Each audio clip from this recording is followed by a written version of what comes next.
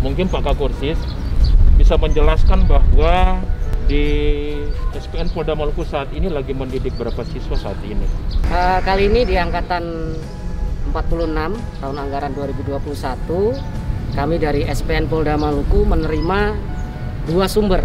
Yang pertama dari Maluku, yang kedua dari Papua. Terima kasih Pak Kakorsis, Ibu Nadia. Mudah-mudahan pendidikan berjalan dari ya. sampai akhir dengan lancar. Untuk itu lebih jelasnya kita temui rekan-rekan kita dari Papua. Selamat siang, boleh perkenalan? Siap. Lanjut. Kenalkan nama saya Konstantinus Arcipong. Saya asal dari Kabupaten Asmat. Saya berasal dari keluarga tidak mampu. Nama saya seorang petani Bapak dan mama saya pisah tahun 2009 dan itu semenjak itu saya masih SD. Saya mencari informasi apakah ada pendaftaran polisi. Penpore saya melihat ada apa spanduk spanduk apa akan segera dibuka pendaftaran bintara Polri Polisi Noken. Kenapa dia bisa saya tidak bisa? Nah dari situ saya mengambil motivasi. Biar saya orang susah saya pasti bisa. Dan bisa saya tes kemarin itu yang memotivasi saya itu mama saya. Mama saya jual sayur. Hasilnya tuh dia selalu kirim buat saya. Saat saya tes dia hanya bisa kirim uang tanpa pikir makan mereka. Saat itu mereka telepon. Mereka bilang Stan uang ini memang kirim untuk kau kau, kau pakai untuk kurus kau berkas-berkas mama lu tidak ada makan dari situ saya menangis. Dan Bapak tahu sekarang sudah dibuktikan kalau sampai di sini sudah mau pendidikan, lima bulan lagi sudah selesai.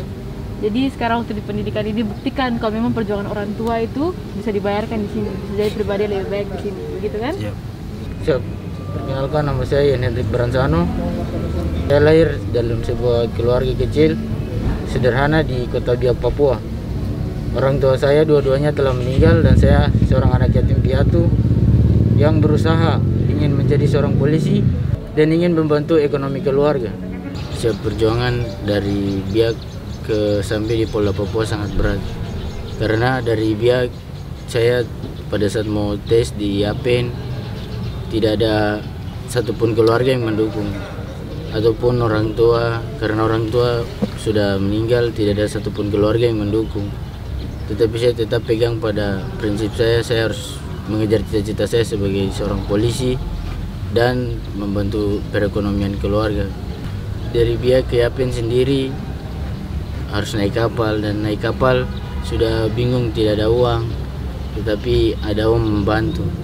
Motivasi saya saat pendidikan saya hanya ingin membanggakan kedua orang tua yang sudah tidak ada. Tapi saya ingin membanggakan mereka di sana karena mereka yang membuat saya sampai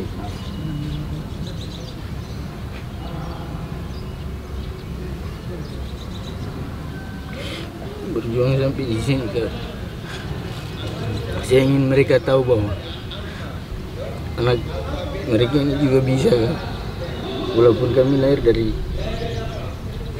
keluarga yang sederhana tapi suatu saat keluarga sederhana itu akan menjadi keluarga yang indah melalui saya kak. Dan saya yakin bahwa ke, kedua orang tua saya selalu menemani saya. Nala nama saya Michelle Alessandro Mentrai pengiriman Polda Papua. Saya ceritakan tentang latar belakang keluarga saya.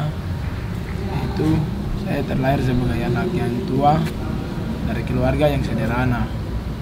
Pertama orang tua laki-laki saya yaitu pekerjaannya cuma nelayan dengan orang tua ibu saya petani. Yang cuma kehidupannya sehari-hari pergi ke kebun untuk mencari sayur untuk membawa dari kampung ke kota untuk menjual mencari uang untuk mengurus sekolah adik-adik saya dengan saya.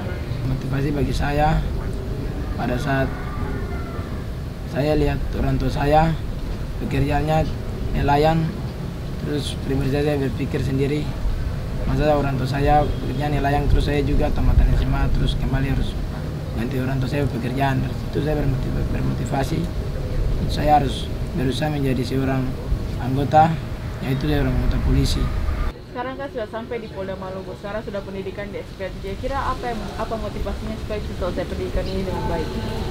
motivasi saya saya akan berusaha saya mengikuti pendidikan dengan baik sampai selesai karena dengan saya saya harus membanggakan orang tua saya terutama.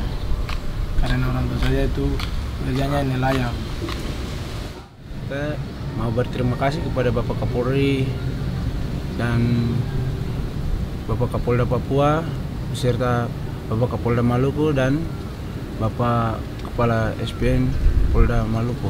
Saya berterima kasih karena mereka bisa menerima saya menjadi siswa Polri di Ambon sini. Saya bisa berpendidikan di sini. Saya juga berterima kasih kepada para pembina dan pengasuh di SPN Polda Maluku yang telah menerima kami siswa dari Polda Papua karena mereka tidak memandang bulu terima kasih banyak karena mereka mereka terbaik terima kasih Tuhan Yesus